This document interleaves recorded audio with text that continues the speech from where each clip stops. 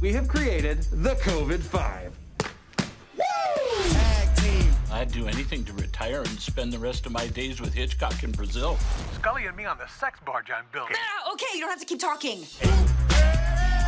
This workplace is my family. Was that not clear? Holt is my dad, you're my mean older sister, Amy's my mom. What? What? What did I say? You said Amy is my mom. Nobody said anything. We don't have time for this, Amy. Brooklyn Nine-Nine, the final season, premieres August 12th on NBC. And watch all past seasons on Peacock.